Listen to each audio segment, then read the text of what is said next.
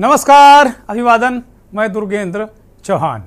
Samajwadi party के वरिष्ठ नेता आज़म खां से सीतापुर जेल में मुलाकात का हो हल्ला करके क्या कांग्रेस पार्टी यूपी के मुसलमानों को ये संदेश देना चाहती है कि मुश्किल से मुश्किल वक्त में भी वह उनके साथ खड़ी रही है और खड़ी रहेगी? क्या यह अवधारणा कांग्रेस मुसलमानों के बीच बनाने की कोशिश में है कि अखिलेश यादव और उनकी समाजवादी पार्टी आज़म खान और उनके परिवार के साथ कठिन वक्त में खड़ी नहीं रही। एक और सवाल, जिसका उत्तर मिलना बाकी है कि क्या यूपी का मुसलमान सपा के इतर कुछ सोच सकता है क्या? ये बड़ा सवाल है और वह भी चाहे कांग्रेस ही क्यों ना हो। एक और दूसरा महत्वपूर्ण सवाल यह है कि क्या आज़म खां को लेकर अजय राय का कदम, अजय राय के बयान उनका जेल में मिलने जाने का पूरा जो हो हल्ला, क्या कांग्रेस पार्टी की लोकसभा चुनाव को लेकर यूपी में बड़ी चूक है क्या? मंथन आज इसी पर।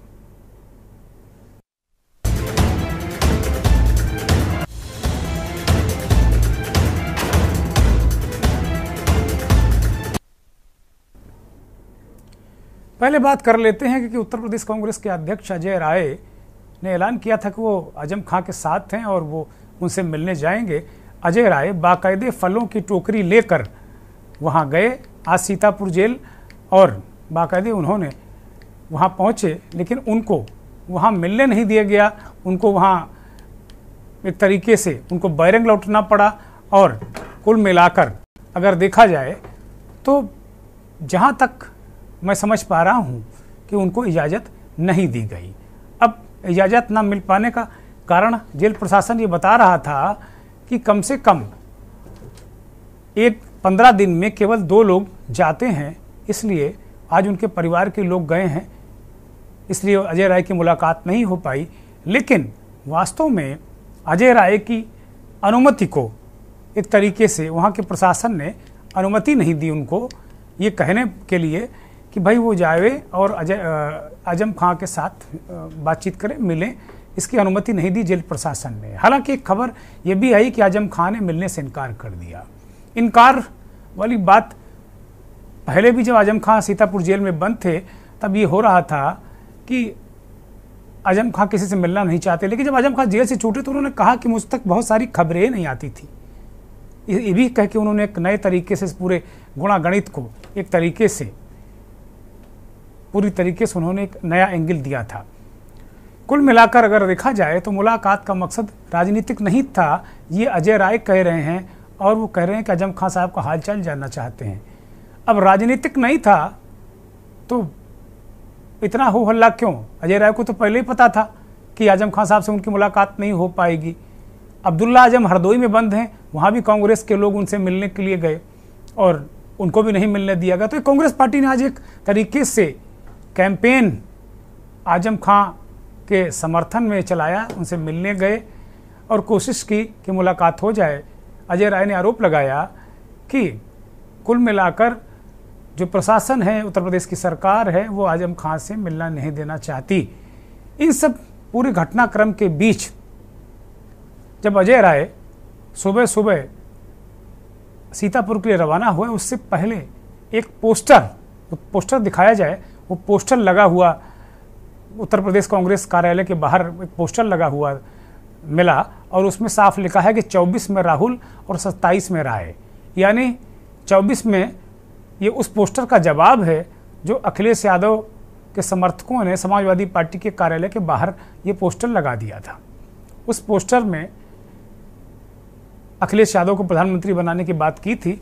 इसमें तो उत्तर प्रदेश में अजय राव को मुख्यमंत्री का चेहरे के रूप में भी ये पोस्टर प्रस्तुत कर रहा है। और वो कौन सा अखिलेश यादव का पोस्टर था? जरा वो भी दिखा दिया जाए। अभी दो दिन पहले की बात है। अखिलेश यादव के उस पोस्टर, ये फकरुल हसन चाँद, वो अखिलेश यादव का पोस्टर है। भावी प्रधानमंत्री के रूप में अखिलेश यादव को याद करके उन्हें कह रहे हैं, बदला है, यूपी बदलेंगे देश। तो दोनों तरफ़ से पोस्टरबाजी भी हो रही, पोस्टरवार भी हो रहा है। एक दूसरे के वोटों पर भी हो रही, सिंपैथी भी दिखाने की कोशिश की जा रही है। इस तरीके की ये कुछ चीज़ें निकल रही हैं जो ऐसा लगता है ये बात शुरू हुई थी मध्य प्रदेश में चुनावों में सीटों को लेकर और बात यहाँ तक पहुँच गई है। मध्य प्रदेश में सीटें क्यों नहीं मिली? क्या हुआ? क्या नहीं हुआ? दिग्विजय सिंह, मध्य प्रदेश के पूर्व मुख्यमंत्री, उनका एक बयान आया जिसमें बहुत कुछ साफ़ हो गया है। हम दिग्विजय सिंह को सुन लें पहले, फिर उत्तर प्रदेश तो मध्य प्रदेश का चैप्टर क्लोज हो जाएगा। उसके बाद हम उत्तर प्रदेश की कथा काया जो वोटों को लेकर, अल्पसंख्यक वोटरों को लेकर, इंडिया के गठबंधन में जो समाजवादी पार्टी कांग्रेस, उन्हीं में आपस में ज़बरदस्त तरीके से छीना झपटी जैसे दिख रही है। अब है कि नहीं, ये पता नहीं, लेकिन दिख रही है। और एनडीए से लड़ने के बजाय आपस में, इंडिया वाले आपस में ही, इंडिया गठबंधन वाले आपस में ही लड़ते नज़र आ रहे हैं। मुझे लगता है दिग्विजय सिंह को सुना जाएगा। कौन? नहीं एक बात सुनिए। एक बात सुनिए। देखिए जो जो इन्होंने कहा कह दिया कमलनाथ जी ने किसी कैसे कह दिया मैं नहीं जानता लेकिन इस इस तरह की बात किसी को खिलाफ करना नहीं चाहिए। हाँ मैं इसको स्वीकार कर रहा हूँ। मेरे पास कमलनाथ जी ने अशोक सिंह जी को भेजा था और दीप नारायण यादव आए थे और एक हमारी उनकी टीम आई थी, मेरे साथ चर्चा, इसी कमरे में बैठ के चर्चा हुई थी। मैं पूरी साफ़ सुथरी बात करता हूँ, छुपाने की बात मुझे नहीं है। समाजवादी पार्टी का एक कैंडिडेट जीता था बिजावर से, जो बीजेपी में चला गया। दो सीटों पे वो उनके अच्छे वोट, एक, दो सेकंड आए थे। इस तरह से तीन सीटों की ऊपर बात हो सकती थी, वो छह सीटें मांग रहे थे। चर्चा हमारी हुई, और चार सीटों पर हम छोड़ सकते थे उनके लिए, इसका मैंने बना के कमलनाथ जी को भेज दिया था।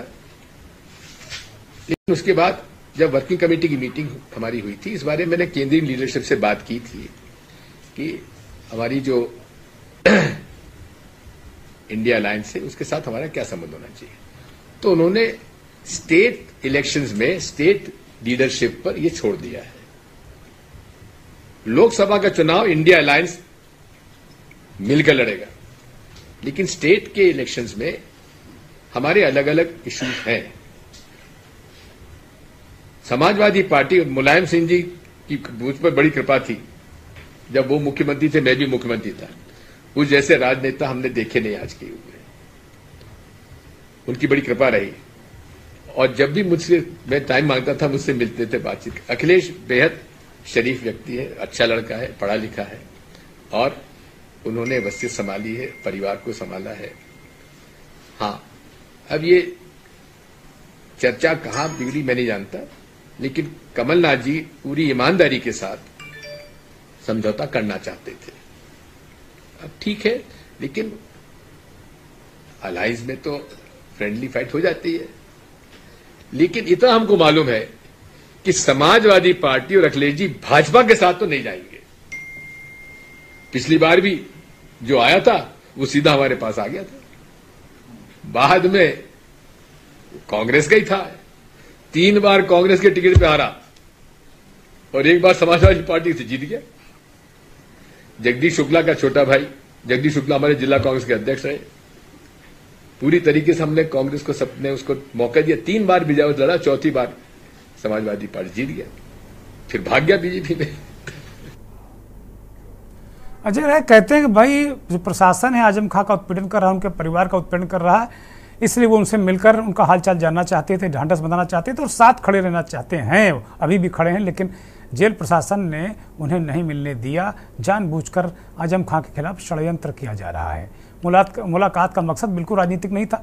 इस बहुत सारी बातें अजय राय ने कही हैं, लेकिन दिग्विजय सिंह ने पूरे इस प्रकरण को साफ़ कर दिया है, पटाक्षेप कर दिया इस पूरे मसले का कि वास्तव में टिकट का मसला क्या था? और इसको दिग्विजय सिंह को सुन के लग रहा कि ऐसा कोई बहुत बड़ा बवाल था नहीं। ये बवाल बना। और इसकी वजह अब किसने बनाया? अखिलेश यादव ने बनाया, कांग्रेस ने बनाया, दोनों ने मिलकर बनाया। ये ये बड़ा सवाल है। और इसके पीछे क्या है? इसके पीछे उत्तर प्रदेश में लोकसभा की सीटों में किसकी कितनी शेयरिंग हुई, इसको लेकर दबाव एक दूसरे पर बनाने की ये टैक्टिस मुझे ऐसा लग रहा है। हालाँकि अब ये खींचतान थोड़ा ज़्यादा बढ़ गई है। और अजय राय अगर बिना हाई कमान के किसी इशारे पर ऐसा कर रहे होते तो अब तक उन पर कार्रवाई हो जाती तो मैं इसमें हाई कमान या कांग्रेस का जो शीर्ष नेतृत्व है, उसको बिल्कुल अलग नहीं मानता हूँ। कुल मिला के ये स्थिति परिस्थिति है, जो पोस्टर, अखिलेश यादव के पोस्टर के जवाब में जो कांग्रेसियों ने पोस्टर लगाया, राहुल गांधी को प्रधानमंत्री का चेहरा और अजय राय को मुख्यमंत्री का चेहरा, सत्ताईस में बताने वाला है पोस्टर, उस पर, उस पोस्टर में क्या है और उसके राजनीतिक निहितार्थ क्या हैं? और अजय राय का क्या रिएक्शन है? हमारे सहयोगी भरत सेठी ने ये जानने की कोशिश की। भले ही उत्तर प्रदेश में और देश में 2024 के चुनाव में अभी समय है, लेकिन अगर बात करें पोस्टर वार का तो उसकी शुरुआत हो चुकी है।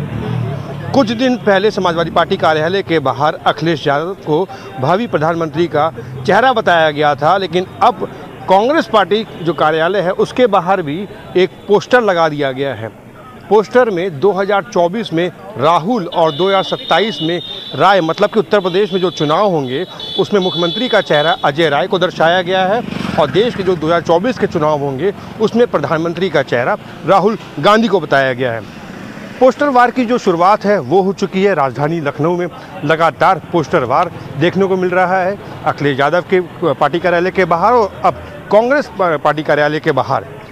लगातार सभी अपने आप को मुख्य प्रधानमंत्री और मुख्यमंत्री का चेहरा बता रहे हैं, जिस तरीके से 2027 में मुख्यमंत्री का चेहरा बताया गया है अजय राय को और देश के जो प्रधानमंत्री की अगर बात करें तो वो राहुल गांधी को बताया गया है। लगातार पोस्टर वार की जो शुरुआत हो चुकी है, आगे भी पोस्टर वार लगातार राजधानी में और तमाम जगह देखने को मिलेंगे, लेकिन देखना ये होगा कि इंडिया गठबंधन में आखिरकार कौन प्रधानमंत्री का चेहरा बनता है और क्या योगी और मोदी जी की जो डबल इंजन की सरकार है उत्तर प्रदेश में और देश में प्रधानमंत्री की तो क्या उत्तर प्रदेश के जो जो मैक्सिमम जो सीटें हैं, वो कौन जीतेगा और प्रधानमंत्री का जो चेहरा असल में कौन बनने वाला है? क्योंकि तो उत्तर प्रदेश से ही जो रहा है, वो बनती है प्रधानमंत्री की और तमाम जो सीटें हैं उत्तर प्रदेश में जब जीती जाती हैं तो वही दावेदार होता है प्रधानमंत्री का। अब देखना ये होगा कि प्रदेश में कितनी सीटें इंडिया गठबंधन को मिलती हैं, या बीजेपी एक बार फिर प्रदेश में और देश में जो सीटों को ज़्यादा से ज़्यादा हासिल करती है। भरत से टीके न्यूज़ इंडिया लखनऊ। नहीं वो कार्यकर्ताओं को अपनी भावनाएँ हैं और निश्चित तौर से राहुल जी देश के प्रधानमंत्री बने हम सबकी यही भावनाएँ हैं। हम सब लोग यही सोच रहे हैं कि उनको कांग्रेस आगे बढ़े और जो इंडिया गठबंधन जो बना है उसको ताकत मिले बल में। सर क्या बात हुई है कैसे लेकर गठबंधन में इंडिया गठबंधन में कि कोई उन्हीं को बनाया जाएगा सर? क्योंकि अखिलेश यादव अपना पोस्टर लगा रहे हैं। नहीं नहीं ये राहुल जी हमारे नेता है। राहुल जी निश्चित तौर से हमारे देश के सबसे योग्य नेता है जिन्होंने इस देश में पैंतालीस किलोमीटर की यात्रा की पूरे देश के अंदर चारों तरफ़ इन्होंने यात्रा किया पोस्टर पर अजय राय का रिएक्शन के न्यूज़ के संवाददाता ने लिया और आपने सुना, वो कह रहे हैं, भाई, राहुल जी सबसे बड़े नेता हैं इस देश के। हमारे नेता हैं, हम चाहते हैं प्रधानमंत्री बने। तो अखिलेश यादव के समर्थक भी चाहते हैं प्रधानमंत्री बने, राहुल जी भी चाहते प्रधानमंत्री बने। बीजेपी कह रही थी कि, भाई, एक अनार, सौ बीमार कार्यकर्ता तो फ़िलहाल यही स्थिति पैदा कर रहे हैं और नेता भी। शीर्ष नेतृत्व तो को आप छोड़ दें तो बाकी नेता भी ऐसा ही कर रहे हैं। आज़म खां से जेल में जो नहीं मिलने दिया गया अजय राय को, उस पर अजय राय ने सीतापुर जेल के बाहर क्या कहा, वो जरा सुन लीजिए। अत्याचार अन्याय की, कि पूरी तरीके से खिलाफ और उनके, पूरी ताकत के साथ उनको बल प्रदान करने, ताकत प्रदान करने, कांग्रेस पार्टी उनके साथ खड़ी है और हम जहाँ भी अत्याचार न्याय हुआ, इसके पहले भी चाहे में, उन्नाव में हाथरस में और लखीमपुर खीरी में जहाँ पर भी भारतीय जनता पार्टी की सरकार में अत्याचार अन्याय हुआ है हमारी नेता प्रियंका जी राहुल जी हमेशा खड़े रहे हैं हम उनके अनुनाई हैं हम उनके दिखाए रास्ते पर चलते हैं। आज आज़म खान साहब के साथ ये पूरी सरकार अत्याचार अन्याय कर रही है उनकी पत्नी के साथ बेटे के साथ उनके साथ हम सब लोग आज आए हैं और उनके साथ अपनी इस लेकिन आज़म खान ने आपसे मिलने से इनकार कर दिया। कांग्रेस के जो आप अध्यक्ष हैं उन्होंने कहा हमको अपने परिवार के अलावा किसी से नहीं मिलना। निश्चित तौर से ये हम सब लोग मिलने आए हैं, अभी मिलेंगे, देखते हैं क्या बात आती है। अगर ऐसी बात भी होगी तो ये सरकार के दबाव में प्रशासन पूरी तरीके से बात को घुमा रहा है। कल भी प्रशासन ने ये कहा था कि कोई एप्लीकेशन नहीं मिली। जो कि एप्लीकेशन और मेल दोनों हम लोगों ने सुबह करा दिया था और निश्चित तौर से हम मिलने आए हैं। अब ये सरकार के अधीन बंद है। सरकार जो चाहे वो कर सकती है, पर पूरी तरीके से जहाँ तक मेरी जानकारी है कि उन्होंने कभी ऐसा नहीं कह सकते। वो मिलना चाहते हैं। ये सरकार के दबाव में प्रशासन ऐसा अध्यक्ष जी अखिलेश अखिलेश यादव ने आपसे कटाक्ष किया हुआ है कि आज जो सिंपैथी दिखा रहे हैं आज़म खान के ऊपर पहले कांग्रेस ने भी उनके ऊपर कई मुकदमे लिखे थे तब कहा थे हम लोगों ने शुरू से इनका साथ दिया है। कांग्रेस पार्टी में कभी इस तरह की चीज़ें नहीं रही। आज़म खान जी के साथ हम सब लोग पूरी ताकत साथ अखिलेश जी ने कहा था। अजय राय कह रहे हैं कि भाई प्रियंका जी राहुल जी हरदम आवाज़ उठाते रहे हैं। हम लोग भी आवाज़ उठाएँ उनके साथ में, जो मैं कह रहा था इस मंथन की भूमिका में, कमोबेश वही बातें अजय राय उसी का संकेत और संदेश दे रहे हैं। अब मेरा नेता प्रधानमंत्री, तेरा नेता प्रधानमंत्री, इस पे राजनीतिक प्रतिक्रियाएँ हमारे सहयोगी ने ली, वो भी जरा सुनाई जाए। देखिए, आदरणीय अखिलेश यादव जी इस देश के प्रधानमंत्री बने। ये इस देश की जनता की आवाज़ है। उत्तर प्रदेश के पिछड़े दलित अल्पसंख्यक किसान मजदूरों की आवाज़ है। कांग्रेस के बाहर कौन से पोस्टर लगते हैं इस पे समाजवादी पार्टी को कोई भी टिप्पणी नहीं करनी है। लेकिन अगर देश में आज अल्पसंख्यकों पे कहीं पर अत्याचार सबसे ज़्यादा हो रहे हैं तो उसके लिए कांग्रेस की नीतियाँ जिम्मेदार हैं। नब्बे के दौर में बाबरी मस्जिद शहादत के लिए अगर कोई जिम्मेदार है तो कांग्रेस और भारतीय जनता पार्टी की सरकारें जिम्मेदार हैं। अगर सीए एनआरसी के लिए कोई जिम्मेदार है तो कांग्रेस और भारतीय जनता पार्टी की सरकारें जिम्मेदार हैं। वो देश में अल्पसंख्यकों पे जितने अत्याचार हुए उसके लिए अगर कोई जिम्मेदार है तो कांग्रेस और भारतीय जनता पार्टी दोनों जिम्मेदार हैं। जो कांग्रेस है, वही भारतीय जनता पार्टी है, जो भाजपा है, वही कांग्रेस। भारत जैसे गणराज्य में अभिव्यक्ति की आज़ादी है। देखिए, जैसा कि आपने प्रश्न किया कि पोस्टर लगाने का है तो मुंगेरी लाल के हसीन सपने कोई कहीं भी पोस्टर लगा दे, कोई भावी प्रधानमंत्री बन जाए, कोई भावी मुख्यमंत्री बन जाए और जैसा कि आपने देखा, ये जो कांग्रेस और समाजवादी पार्टी में नूरा कुश्ती है यह तो मैं पहले भी बहुत सारी डिबेटों में ना, और के न्यूज़ जैसे प्रतिष्ठित चैनल में आपने देखा। देखिए, ये इंडी गठबंधन केवल अवसरवादिता की पराकाष्ठा है। आप विधानसभा चुनाव में देख रहे हैं, तलखियाँ कितनी है। मैंने पहले भी ये बार बार कहा था आपके चैनल में कि जब सीट बंटवारे का नंबर आएगा तो ये जग ज़ाहिर हो जाएगा कि ये जो है केवल एक अवसरवादिता का जो गठबंधन है, वो केवल लूट खसोट का है। उत्तर प्रदेश में जब कांग्रेस आएगी तो यहाँ भी उसका निराधार है। और कांग्रेस का यहाँ क्या गति है? यह सर्वविदित है। और भारत के प्रधानमंत्री, यशस्वी प्रधानमंत्री ने पूरे भारत को एक रूपरेखा में बाँध रखा 2014 से जब से भारत के प्रधानमंत्री देश की बागडोर है देश में ही नहीं, वरन विदेश में भी भारत का नाम ऊँचा किया है। और इसका परिणाम आपने देखा है 2014 से लेकर आज तक। चाहे बीजेपी कह रही थी, आज भी वो कह रही है, कि हमने पहले ही कहा था कि अगर जब सीट बंटवारे का नंबर आएगा तो चूँकि ये गठबंधन बेमेल है, अवसरवादी है, लोभ लालच वाला है, ये एक तरीके से नीतिगत गठबंधन नहीं है, ये एथिकल गठबंधन नहीं है। इसलिए ये हाल तो होना ही था। और जो मौजूदा परिस्थितियाँ हैं बीजेपी बीजेपी की बातें ठीक भी बैठ रही हैं, क्योंकि कांग्रेस और समाजवादी पार्टी के प्रवक्ता एक दूसरे पर नेता एक दूसरे पर छिटाकसी कर रहे हैं। फकरुल हसन चाँद, जिनको हमने सुना, वो कह रहे हैं कि कांग्रेस और बीजेपी एक ही तरीके की है। कांग्रेस अल्पसंख्यकों पर अत्याचार के लिए कांग्रेस ही उतनी ही जिम्मेदार है जितनी बीजेपी पराकाष्ठा हमारे साथ मेहमानों का पैनल जुड़ गया है। उत्तर प्रदेश और देश की राजनीति को बहुत अच्छी तरीके से समझने, कहने का मादा रखने वाले बहुत ही वरिष्ठ पत्रकार, राजनीतिक विश्लेषक संजय श्रीवास्तव हमारे साथ जुड़े हैं लखनऊ से। संजय जी, बहुत स्वागत, बहुत धन्यवाद, बहुत आभार। उत्तर प्रदेश को बहुत अच्छी तरीके से समझने वाले और अपने जो बुद्धि कौशल है, उससे बहुत अच्छा विश्लेषण करने वाले वरिष्ठ पत्रकार, विश्लेषक नवेद सिको साहब भी हमारे साथ लखनऊ से जुड़े हैं। नवेद भाई, बहुत स्वागत, बहुत धन्यवाद। भारतीय जनता पार्टी की नुमाइंदगी देवेंद्र प्रमुख साहब करेंगे। गाजियाबाद के वरिष्ठ नेता हैं, हमारे साथ जुड़े हैं। कांग्रेस के नेता रोहन सिंह हमारे साथ प्रयागराज से जुड़े हैं। रोहन भाई, बहुत स्वागत, बहुत धन्यवाद। सरोज यादव समाजवादी पार्टी की प्रवक्ता हमारे साथ अयोध्या से जुड़ी हैं। सरोज जी, बहुत स्वागत, बहुत धन्यवाद। इमरान संभल शाही आम आदमी पार्टी के प्रवक्ता हैं, प्रयागराज से जुड़े हैं। सभी मेहमानों का बहुत स्वागत, बहुत धन्यवाद, बहुत आभार। और एक निवेदन भी कि चूँकि प्रथम राउंड में 30 सेकंड का समय आप लोग लीजिए तो बड़ी मेहरबानी होगी ताकि सारे लोग प्रथम राउंड में आ जाएँ, क्योंकि जो भूमिका होती है वो थोड़ी लंबी हो जाती है फिर उसके बाद जो चीज़ें होती हैं, एक दूसरे के नेताओं के बयान इत्यादि इत्यादि, उनके बिना भूमिका बनती नहीं है। तो इसलिए मेरा निवेदन है कि तीस तीस सेकंड में अगर रिएक्ट करेंगे तो मुझे लगता है सारे लोग पहले चरण में पहले चरण में आ जाएँगे। मैं मंथन की शुरुआत, बेहद वरिष्ठ पत्रकार संजय जी से शुरू करूँगा। संजय जी, अब बहुत सारी बातें अभी आपने सुनी। एक दूसरे पर छीटा कसी। फकरुल हसन चाँद ने तो भारतीय जनता पार्टी और कांग्रेस को एक ही तरीके से एक ही थैली की चट्टे बट्टे कह दिया, कहा अल्पसंख्यकों को का जितना उत्पीड़न बीजेपी ने किया, उतना ही कांग्रेस की वजह से हुआ। तो क्या तिलमिलाहट है क्या सपा की?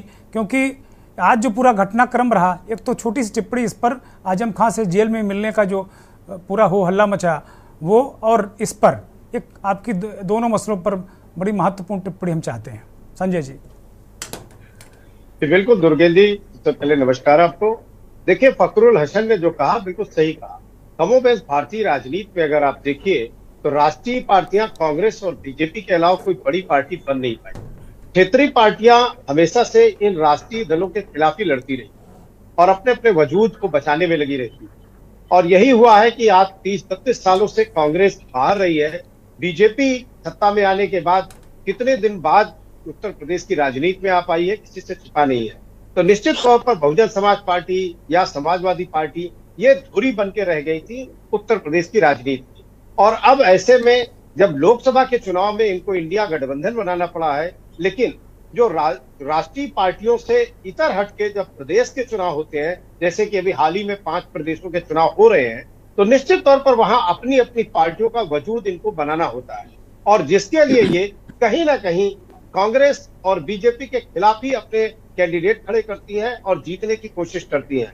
ये बात अलग है कि वो लोकसभा चुनाव का गठबंधन है और इसी वजह से अजय राय जो बात कह रहे हैं, वो भी अपनी जगह सही है और जो फकरुल हसन चाँद कह रहे हैं, वो भी सही है।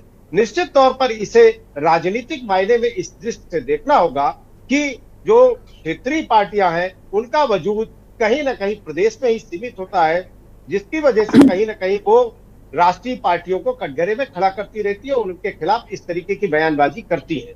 दूसरी तरफ़ आपने पूछा कि अजय राय जो रामपुर गए और सॉरी सीतापुर गए और आज़म खान से मिलने की कोशिश की, उन्होंने जेल में और उन्हें मिलने नहीं दिया गया तो निश्चित तौर पर बहुत सीधी सी बात है कि बीजेपी की सत्ता है उत्तर प्रदेश में और जेल के जो अधिकारी हैं, वो सरकार के अधीन काम करते हैं तो वो क्यों कांग्रेस पार्टी को इस बात पे माइलेज देने की कोशिश करेंगे या उनको लेने देंगे कि अगर कांग्रेस पार्टी का नुमाइंदा कोई जाके आज़म खान के प्रति सिंपैथी गेन करता है तो पश्चिमी उत्तर प्रदेश में जो मुस्लिम वोटों का ध्रुवीकरण है, वो कहीं ना कहीं कांग्रेस के खेमे में जाता हुआ दिखेगा। और निश्चित तौर पर बीजेपी ऐसा होने नहीं देना चाहती है, वो चाहती है कि जो मुस्लिम वोट है, वो कहीं ना कहीं कांग्रेस या इंडिया गठबंधन में जब लोकसभा का चुनाव हो, तब भी अगर समाजवादी पार्टी या कांग्रेस में कोई अनबन होती है तो निश्चित रूप से वो वोट बटे।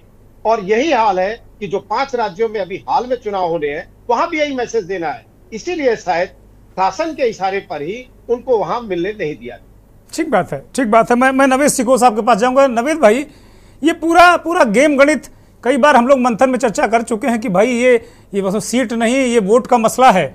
और वो दिग्विजय सिंह ने साफ़ कर दिया, वो हमने सुनाया भी। कैसे कैसे निभेगी?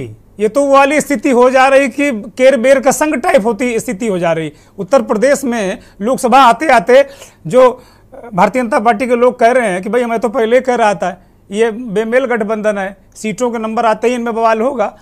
कमोबेश स्थितियाँ उसी तरह दिख रही हैं। वास्तव में क्या क्या चल रहा है, क्या हकीकत है, क्या फसाना है नवेद भाई?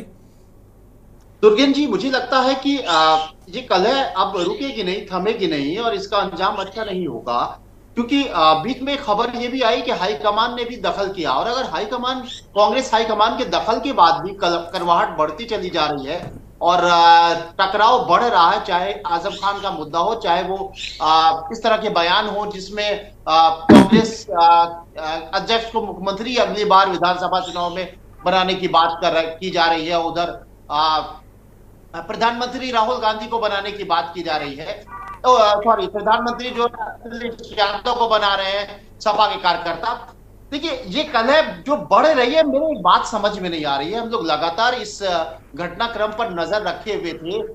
जब गठबंधन का एक स्वरूप तैयार हो रहा था, उस वक्त हम लोग कांग्रेस और समाजवादी पार्टी के बड़े नेताओं का, अखिलेश यादव के बयानों पे गौर कीजिए, कांग्रेस के बड़े नेताओं के बयानों पे गौर कीजिए वो बार बार कह रहे थे कि हमें भाजपा से लड़ना है लोकतंत्र को बचाना है आ, हमें तानाशाही से देश को बचाना है हमें निर्दोष लोगों को जेल में जाने से बचाना है। इसलिए हम किसी भी हद से कॉम्प्रोमाइज करेंगे कोई हमारे बीच में कोई कलह पैदा नहीं होगी हम त्याग कर देंगे कुर्बानी कर देंगे। इस तरह के लगातार बयान आ रहे थे और एकाएक ही जो सबसे बड़ा जहाँ पर सबसे बड़ी चुनौती है उत्तर प्रदेश इंडिया गठबंधन के लिए सबसे बड़ी चुनौती उत्तर प्रदेश है। और उत्तर प्रदेश इंडिया गठबंधन के बिखराव का केंद्र बन गया। यानी ये कल है, पूरे देश में जा सकती है। पूरे देश में जो इनका गठबंधन का स्वरूप तैयार हुआ है, वो पूरे में फैल जाएगी। तो सवाल इस बात का है कि ये या तो कांग्रेस को कोई ऐसा सपना आया है कि वो अकेले प्रचंड बहुमत से भारतीय जनता पार्टी को हरा देगी?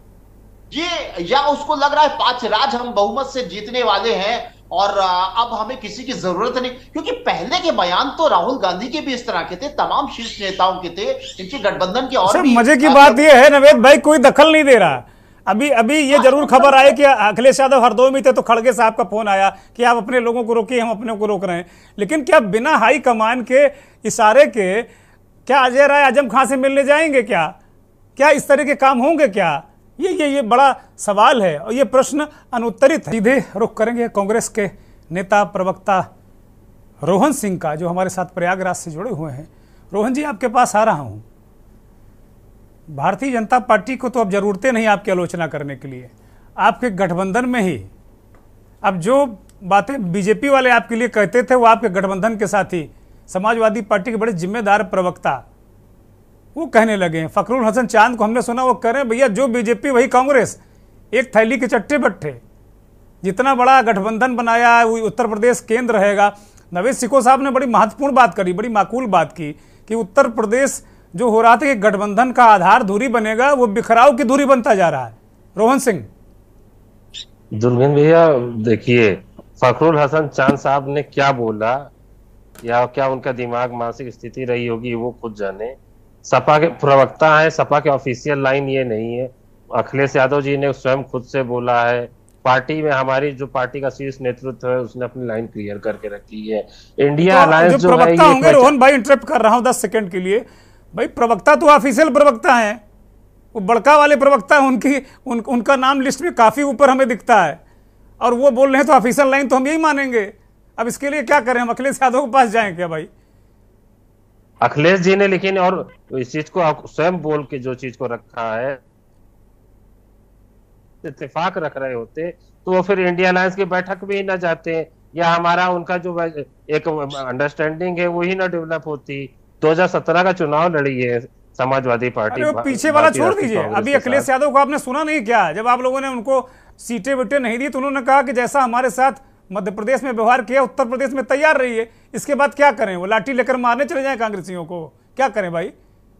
कह दिया ना उन्हें जो कहना था कि आओ हम तुम्हें भी देखेंगे उत्तर प्रदेश में क्या हैसियत है? दो दशमलव सात परसेंट वोट है आपका।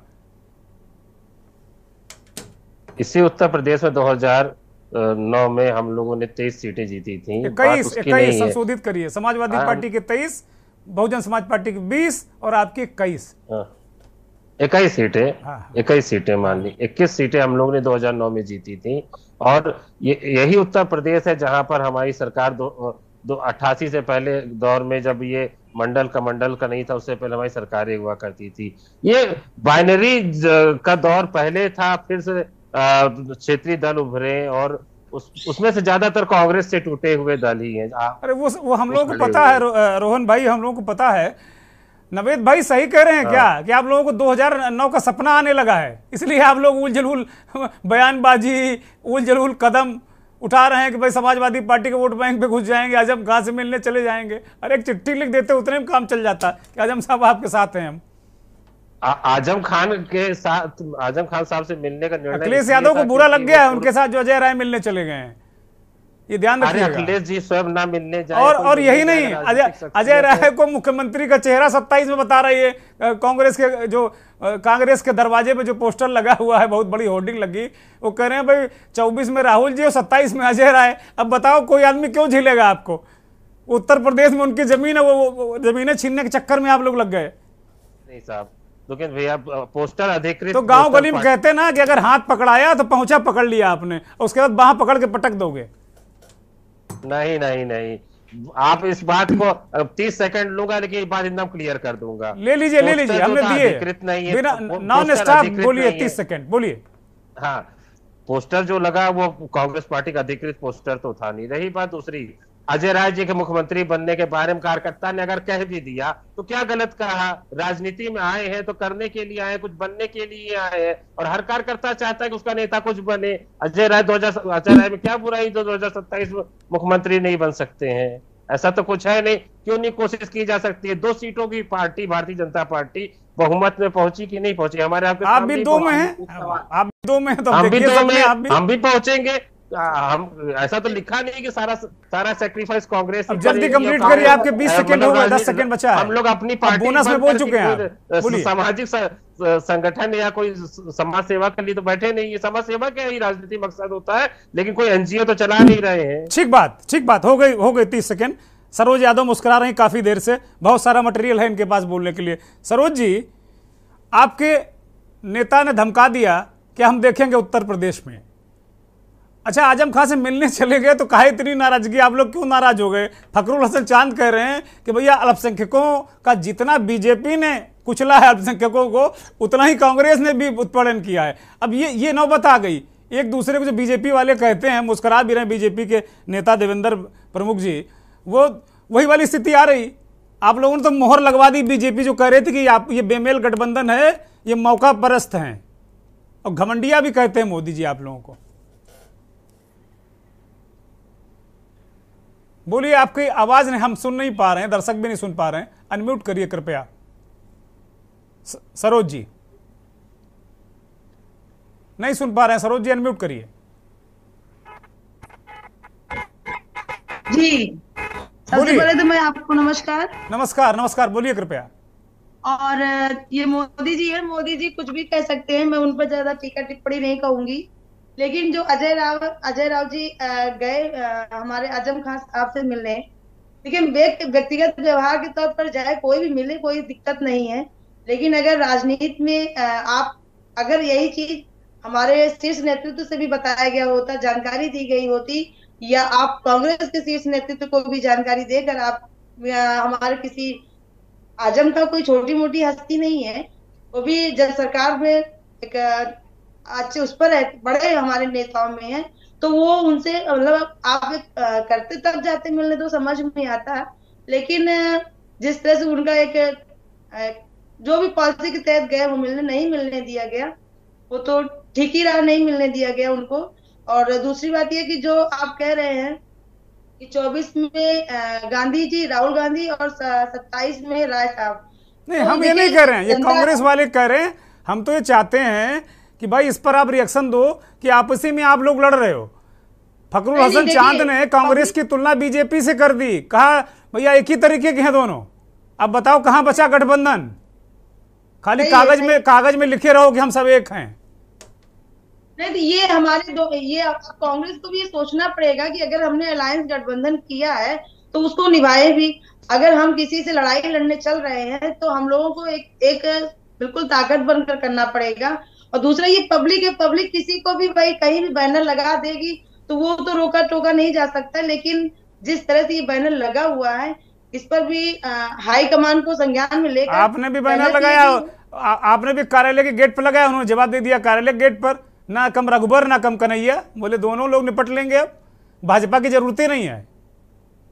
नहीं वो तो ठीक है तो अगर भाई देखिए जनता है पब्लिक है अगर हम हम लोग तो भाई अपने नेता की तो भैया ना अखिलेश यादव ने वो पोस्टर उतरवाया ना अजय राय ने। हमारे संवाददाता ने उस पोस्टर के नीचे खड़े होकर बात की वो मुस्कुरा रहे हैं मन ही मन कि वाह चीफ मिनिस्टर बनने जा रहे हैं हम। देखिए ये जनता है जनता तो अपने विचार रख सकती है उसमें कोई वो नहीं है लेकिन अब हम जो हमारे शीर्ष नेता हैं उनमें आपसी अच्छा आप लोग आपस में लड़ते रहोगे कि भाजपा से भी लड़ोगे? ये बताओ हमको आप सरोज जी। नहीं नहीं जो अलायंस गठबंधन हुआ है वो बीजेपी से लड़ने के लिए हुआ है और तो आपस ही में लड़ रहे हो पहले आप आप लोग लड़के फुर्सत पा लो उसके बाद फिर चौबीस का चुनाव लड़ना।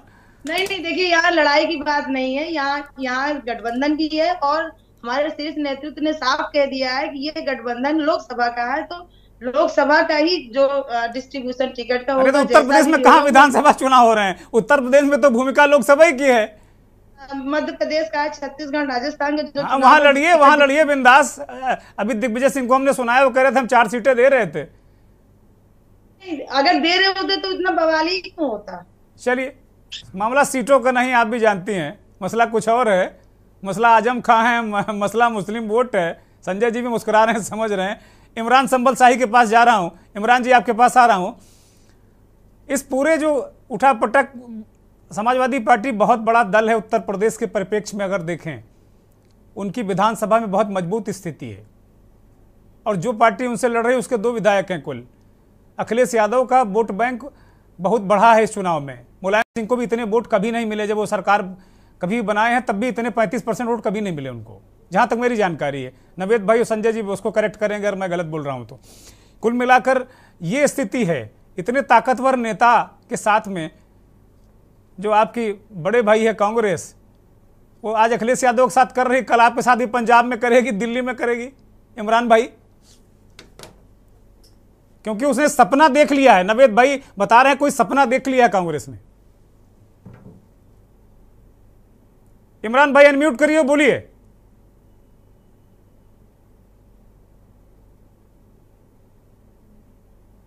इमरान इमरान जी। मुझे लगता है कि कुछ नेटवर्क गड़बड़ है। इधर आम आदमी पार्टी का नेटवर्क गड़बड़ चल भी रहा है। मैं सीधे भारतीय जनता पार्टी के नेता के पास आऊँगा। देवेंद्र जी क्या स्थितियाँ क्या परिस्थितियाँ आपको लग रही हैं? ये लोग चुनौती तो आपको देने चले थे। आपस में ही इन्होंने बाहें चढ़ा ली हैं। सर मेरी आवाज़ मिल रही है आपको? बिल्कुल बोलिए बोलिए धुआंधार बोलिए। सबसे पहले तो मैं ये कहूँगा कि इस डिबेट में जो चीज़ आज निकल कर आई है बहुत शानदार डिबेट है। आपको मैं धन्यवाद देना चाहता हूँ कि कम से कम जो है विश्लेषक के तौर पर और विश्लेषण जिस तरह से हुआ है ये बहुत ज़रूरी था। लेकिन आपने लेकिन ए, एक एक निवेदन मैं रोक रहा हूँ आपको केवल पाँच सेकंड के लिए। एक निवेदन आज आपको सूट कर रहा तो आप मेरी तारीफ़ कर रहे हैं। कल गरियाएगा नहीं क्योंकि मेरा नेचर है ऐसे ही। कल आप फंसेंगे तो आपको भी नहीं छोड़ूँगा। अब कंटिन्यू करिए। मैं परिचित मैं परिचित हूँ और मुझे बहुत अच्छे से पता है कि और मैं कल संजय सर का जब सारा कुछ होने के बाद धन्यवाद कर रहा था कल की डिबेट में। बोलिए आप, अच्छे, आप अच्छे इंसान हैं अच्छे नेक इंसान हैं बोलिए। आएँगे तो मैं आपसे जो लड़ने बैठ जाऊँगा। आप जो मुझे कहेंगे जो मेरी कमी है मुझे सुनना सुनना चाहिए सुनना पड़ता भी आप आप आप जैसे लोगों की वजह से पार्टी आज इतनी ताकत में है भारतीय जनता पार्टी बोलिए। मैं सर ये कहूँगा कि जो आपने रोका था थोड़ा सा बात तो विश्लेषक के तौर पर ये अच्छी बात आएगी निकल के। ये जो लड़ाई है लड़ाई कहीं और है। ये आज भारतीय जनता पार्टी की चिंता नहीं है। कांग्रेस बिल्कुल सही दिशा में जा रही है कि जब तक क्षेत्रीय पार्टियाँ खत्म नहीं होंगी, जब तक नहीं मिटेंगी, कांग्रेस अब नहीं होगी। कांग्रेस को पता है कि 2024 में कहीं से कहीं तक नहीं है, लेकिन उसके बाद जो अगला आएगा उनतीस का चुनाव, वहाँ खड़ा होने के लिए इन पार्टियों को अब की बार निपटा दो। और इस काम को बड़े प्लान से और तरीके से कर रहे हैं। राहुल जी कर रहे हैं, उनकी पार्टी कर रही है और छोटे दल अभी समझ नहीं रहे। और जो समझेंगे धीरे धीरे इतने देर हो जाएगी। लेकिन हम चाहते हैं कि लोकतंत्र जिस तरह से है, वो ज़िंदा रहे। हमारे साथ इनसे ज़्यादा घटक दल हैं। और हमारे साथ भी जो है, इसी तरीके का ये हमको इंगित करते आए मैंने हमेशा कहा, बेमेल विवाह मत करो। विवाह वाले के साथ निकाह मत करो। अगर विवाह वाले के साथ निकाह पढ़ोगे तो निश्चित टूटेगा। वो काम आज गठबंधन मुफ्ती के साथ पीडीपी के साथ गठबंधन था। मैंने कहा है कई बार अपनी डिबेट में जब ये गठबंधन होता था मैं इस पर सवाल उठाता और तथ्य के साथ बोलता था कि आपके पास कोई नेता नहीं है। आप राहुल जी को कोई गठबंधन का नेता मानने के लिए तैयार नहीं हुआ। नीतीश जी बिहार से चलकर आए सिर्फ़ राहुल जी जेल में थे इसलिए आए। अखिलेश जी ने जो दाव खेला, केजरीवाल जी ने उससे बड़ा दाव खेला। कि उनको पता था कि राहुल जी जो है, शायद वापसी करें या ना करें, गठबंधन के सिर में और वो होंगे। और जब तक ममता जी भी अच्छा बोलती रही, तब तक राहुल जी को दिक्कत नहीं थी। जैसे राहुल जी फॉर्म आए हैं, तभी से सारे घटक दल जितने भी साथी दल हैं, उन सब के चकनाचूर हुए हैं। और उन्होंने अपना मन बदल दिया है। और उसे बदलने के लिए कांग्रेस भी अपनी स्थिति समझ गई कि मुस्लिम इस देश का जब तक इनके किसी के एक साथ नहीं जाएगा कांग्रेस अब नहीं होगी। ये इनका गणित है निश्चित। भारतीय जनता पार्टी का प्रवक्ता होकर इनकी बात आपके अंदर को बता रहा हूँ और क्षेत्रीय दलों को निश्चित सही डर है कि कांग्रेस इनको खाएगी। हमारे साथी ने कहा है कि हम में से निकल के बने ये लोग। ये लोग जो दल बने हमारी पार्टी में से निकल के बने तो कहीं ना कहीं सच्चाई ये इनकी इनकी होता है। अगर भारतीय जनता पार्टी और कांग्रेस की नेशनल लड़ाई होती है नेशनल मुद्दों पर लड़ाई देवेंद्र भाई तो लगभग कमोवेश स्थिति तो आपकी भी वही है। आपके जो अध्यक्ष जी हैं वो पटना में कहकर आए थे कि क्षेत्रीय दलों को खत्म करो, है ना? और शुरू से, और छोड़िए, आपके जो शीर्ष पुरुष हैं आडवाणी जी, मैंने फतेहपुर में उनकी एक रैली कवर की थी, बतौर रिपोर्टर। बहुत जोरदारी के साथ उन्होंने कहा था कि देश में दो ही दल रहेंगे, कांग्रेस और भारतीय जनता पार्टी, बाकी ये सब डील करते हैं। आडवाणी जी की परम इच्छा थी, जो मोदी जी पूरा कर रहे हैं। जो अड़तीस दलों की बात आप कर रहे हैं, ना किसी के बोर्ड का पता है, न किसी के, साइन बोर्ड का पता है। कौन है? ये हालत है आपकी भी, और इनमें कम से कम इन वालों, इनके पास तो दल हैं, जिनके पास एक एक दो दो विधायक हैं, ऐसे दस बारह, पंद्रह दल इनके पास भी हैं।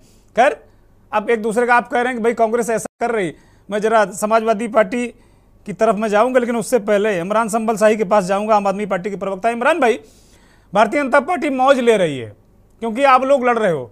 आज कांग्रेस पार्टी जैसा सलूक कर रही समाजवादी पार्टी के साथ में, सरोज यादव करें ऐसा नहीं करना चाहिए। बहुत अच्छा हुआ आज़म खान साहब से नहीं मिल पाए। ये मनौती मान रहे हैं कि बिल्कुल इर्द गिर्द मत जाओ। है ना आज़म खान मिलना भी चाह रहे हो, लेकिन ना, नहीं मिल नहीं मिलना है। स्थिति परिस्थिति ये बन रही है कि कल फिर पंजाब में भी ऐसे ही दखल देंगे। इसी तरीके से दिल्ली में भी कांग्रेस का रुख होगा।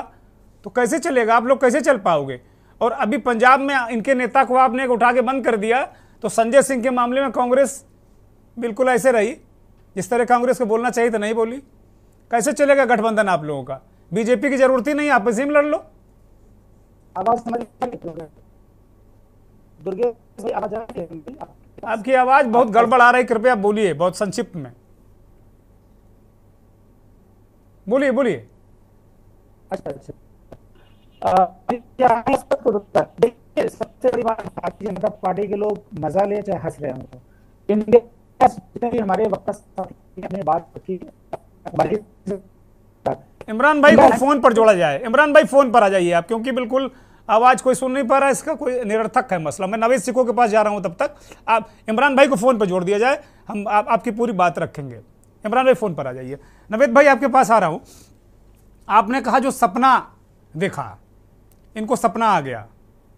ऐसा कौन सा जड़ी बूटी इनको मिल गई जो इनको सपने आने लगे? ऐसा कौन सा स्वर्ण बस खा लिया कांग्रेस पार्टी ने? अचानक इतनी ताकतवर हो गई।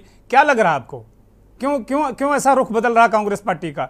बीजेपी कह रही कि भाई ये तो क्षेत्रीय दलों को खत्म कर देंगे। क्षेत्रीय दलों को आगाह कर रहे हैं ये। मैंने अपने स्तर से इस बात को जानने की कोशिश की और कुछ बातें पता चली हैं। बोलिए। कांग्रेस उत्तर प्रदेश में सीट बंटवारे से पहले एक बहुत ही सीक्रेट उसने एक सर्वे करवाया है। दो सर्वे करवाए। एक तो राय शुमारी उन्होंने अपने संगठन के साथ की थी।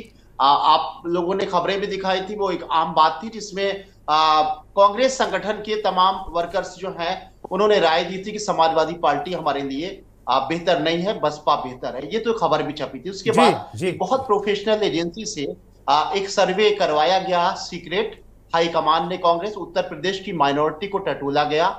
यहाँ का अल्पसंख्यक समुदाय उसके फेवर में एकजुट नज़र आ रहा है। उसके पास ये रिपोर्ट आई और कांग्रेस को ये लगने लगा। कांग्रेस ने एक शिल्प तैयार किया है कि 15-20 परसेंट एकमुश्त हमारे पास मुसलमान आएगा और जहाँ पर बेस तैयार होगा। एंटी बीजेपी जो वोटर है, जो एंटी इंकम्बेंसी की वजह से भाजपा के खिलाफ वोट देगा, क्योंकि डबल एंटी इंकम्बेंसी है। स्टेट में भी बीजेपी सरकार है दूसरी बार, और ये दो सरकारें मोदी सरकार की भी गुजर चुकी हैं। पंद्रह बीस परसेंट एंटी इनकम्बेंसी का और भाजपा विरोधी वोट उसी के पास आएगा जहाँ पर आधार होगा। और आधार यहाँ मुस्लिम वोट बैंक का पंद्रह सोलह सत्रह परसेंट हो सकता है। तो कांग्रेस को लगने लगा है कि अब जहाँ पर मुकाबला नेट टू नेट नहीं होने वाला है अब बाईपोलर इलेक्शन नहीं होगा कम से कम उत्तर प्रदेश में अगर हम अलग हो जाते हैं रालोद को साथ में ले लेते हैं बसपा को लाने की कोशिश करते हैं या बसपा के सांसदों को तोड़ के लाते हैं या फिर सपा के मुस्लिम सांसदों को भी तोड़ के आगे लाते हैं तो हमारे पास में मुस्लिम वोट बैंक होगा ये उसको रिपोर्ट मिली है ये मैं अंदर की जो मैंने कोशिश की खबर निकालने की तो मुझे पता चला है कि कांग्रेस हाईकमान को इस तरह का एक सर्वे रिपोर्ट मिला है जो उसने बाकायदा एक बड़ी प्रोफेशनल एजेंसी से करवाया है, जिसमें मुसलमान एकजुट होकर सपा के खिलाफ और कांग्रेस के साथ में आ रहे हैं। कांग्रेस को यह लगने लगा है कि जब मुसलमान एक आधार के तौर पर हमारे साथ आएगा तो नॉन मुस्लिम वोटर जो बीजेपी से परेशान है या नहीं चाहता है कि बीजेपी रिपीट हो, उसके साथ आ जाएगा। और अगर हम 25 तीस, बत्तीस परसेंट भी अगर हम आ जाएँगे, हालाँकि यह भी चमत्कार होगा, दो परसेंट से, अब दस गुना भी बढ़ेंगे तो बीस, बाईस परसेंट हो गए। लेकिन कांग्रेस का सपना यह है कि हम तीस परसेंट भी अगर आ जाएँगे, क्योंकि बाइपोलर नहीं होगा, त्रिशंकु मुकाबला होगा, बल्कि बसपा भी एक कुछ ना कुछ परफॉर्म करेगी चौतरफा मुकाबला होगा तो यहाँ पर कोई पचास और पैंतालीस परसेंट का खेल नहीं होगा। यहाँ पर तीस प्लस पर ही कुछ सीटें निकाली जा सकती हैं, अपना आधार मज़बूत किया जा सकता है। इस रिपोर्ट के मुताबिक अब वो समाजवादी पार्टी के सामने झुकना नहीं चाहते हैं। और ये बात अखिलेश यादव को पता चल गई। आपने देखा, आपने खबर चलाई कि एक शख्स लगातार कांग्रेस के खिलाफ बोल रहा है, उसका नाम है फखरुल हसन चाँद, जो प्रवक्ता हैं और अखिलेश यादव जी के बहुत करीबी हैं।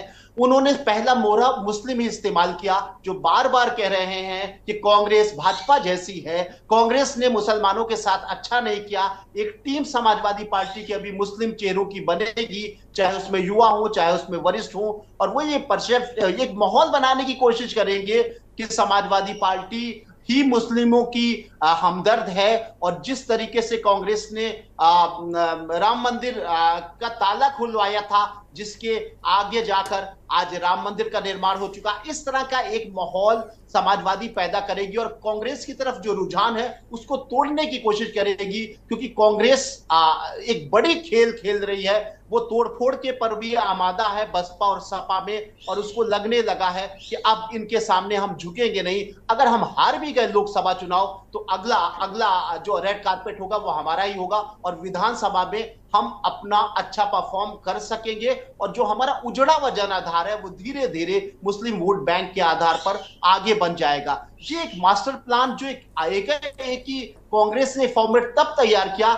जब अखिलेश यादव लगातार कांग्रेस को दबाने की कोशिश कर रहे थे, वो मध्य प्रदेश हो, चाहे कोई दूसरा मामला हो, इस तरह की चीज़ों को लेकर कांग्रेस अब झुकना नहीं चाहती, क्योंकि उसको लगता है कि झुकने के बाद में गठबंधन में हमें उतना वोट नहीं मिलेगा जितना हमें तोड़ फोड़ और रालोद को साथ में लेने के बाद मिल सकता है। ठीक बात है। संजय जी, मैं आपके पास आ रहा हूँ। नवेद भाई ने पूरा एक्सपोजे कर दिया अंदर की जो खबर थी, उसको बिल्कुल उसके प्याज के छिलकों की तरह बिल्कुल एक परत दर परत खोल दी और ये बता दिया कि भाई क्यों ऐसा ये लोग कर रहे हैं। अब मैं आपसे ये प्रश्न कर रहा हूँ या ये जानना चाहता हूँ कि जो कहते हैं ना कि फांसीवादी ताकतों से लड़ेंगे, ये करेंगे, लोकतंत्र बचाएँगे, संविधान बचाएँगे, फिर उन नारों का क्या होगा? अखिलेश यादव कहाँ खड़े होंगे? समाजवादी, लोहियावादी, जेपीवादी और राहुल गांधी कहाँ खड़े होंगे? जो ओबीसी ओबीसी कर रहे हैं। तो फिर तो जो 24 का तो फिर सपना भूल ही जाए इंडिया गठबंधन। संजय जी। हाँ बिल्कुल आप सही कह रहे हैं। नवेद भाई ने जो एनालिसिस की और जो उनको जानकारी है उसमें थोड़ा सा मैं जोड़ देता हूँ कि दिवाली बाद मायावती की पार्टी भी जो इंडिया अलायंस है उसके गठबंधन में आ सकती है। ये भी पूरी पुख्ता खबर है।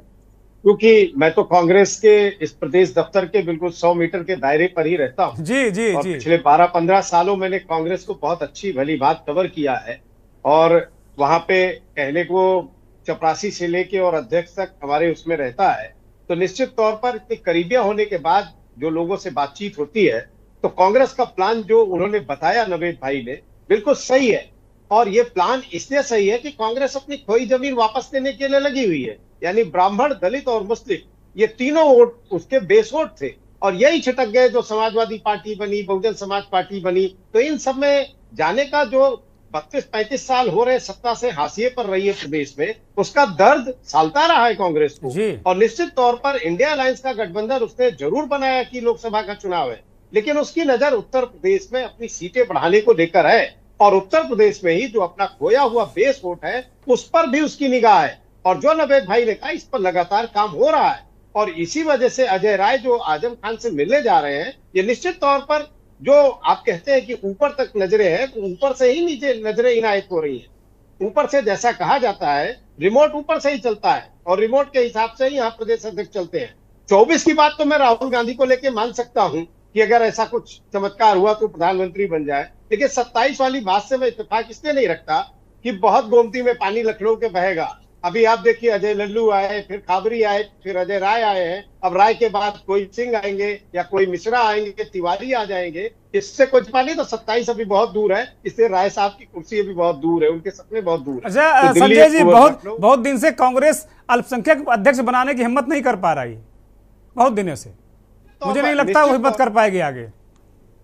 निश्चित तौर पर आप देखिएगा मुझे तो लगता है कि कहीं ऐसा ना हो कि 24 के चुनाव के पहले ही कोई मुस्लिम चेहरा ये तलाश रहे हो और उसको बैठा दे या उसको चुनाव का प्रभारी बना दे। आप देखिएगा ऐसा होगा कि अगर अध्यक्ष नहीं बनाते प्रदेश का तो जो लोकसभा चुनाव 24 के होंगे वो कहीं ना कहीं उसका प्रभारी के तौर पे और ऐसा करते रहे हैं।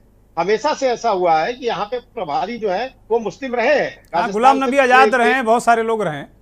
मैं उनका एक का नाम मैं भूल गया, वो तो राणा करके थे और वो काफ़ी यहाँ उनका दखल भी रहता था।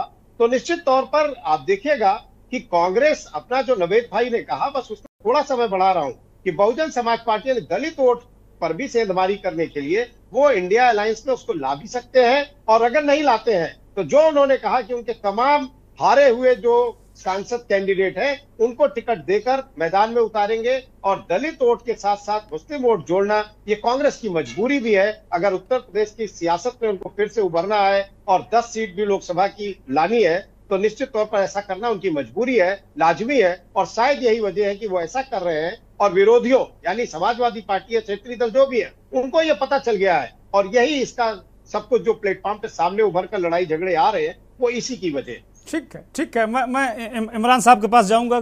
काफ़ी देर से जुड़ नहीं पाए हैं। अब वो हैं हमारे साथ। इमरान संभल शाही साहब, बहुत महत्वपूर्ण बात कही। तो अल्पसंख्यकों को लेकर आप उस वर्ग से भी आते हैं, उसकी नुमाइंदगी करते हैं। तो इस वजह से भी एक सवाल आपसे बनता है कि क्या जो कांग्रेस के मंसूबे हैं, क्या अल्पसंख्यक उस तरफ़ सोच रहा है? और उससे बड़ा सवाल आपसे है कि जो कांग्रेस पार्टी, जैसा बीजेपी के नेता ने कहा कि अभी तक वो हर बात आप लोगों के मानने को तैयार थे कि भाई आपने जो कहा ठीक है, जो गठबंधन के साथी हैं। अब आप देख लीजिए, अखिलेश यादव के साथ ये सलूक, ममता बनर्जी ने भी कुछ कहा है, नीतीश बैठे हुए हैं, तेजस्वी ने भी इसमें इंटरप्ट किया है कि ऐसा व्यवहार नहीं होना चाहिए अखिलेश यादव के साथ में। और आप कल ये पंजाब में भी इसी तरह करेंगे, आपके साथ में और दिल्ली में भी करेंगे। और अभी पंजाब में आपने इनके एक नेता को गिरफ़्तार करवा के जेल भिजवा दिया है, उसके बाद संजय सिंह के मामले में कांग्रेस बिल्कुल नहीं हो रही, बड़े नेता। छोटे मोटे कोई बोल दिए हो तो बात अलग है। लेकिन शीर्ष नेतृत्व से कोई भी कठोर निंदा आलोचना नहीं हुई है। तो आप किस तरह देखते हैं गठबंधन के साथी होने के नाते? मेरी आवाज़ आ रही है? हाँ बोलिए अब अब बोलिए आ रही। अच्छा ठीक है। दुर्गेश भाई मेरा नमस्कार। दो बार आपने दो सवाल मुझसे किए तीसरा सवाल आपने डाल दिया। मुझे जवाब देने का थोड़ा मौका दीजिए। मैं फास्टली बोलूँगा। देखिए, जहाँ तक कांग्रेस की बात है, समाजवादी पार्टी की बात है, अलायंस की बात है, इसमें मैं स्पष्ट कर देना चाहता हूँ आम आदमी पार्टी की तरफ़ से, इस अलायंस में कोई दुराव नहीं है, कोई टकराहट नहीं है, कोई परेशानियाँ नहीं है।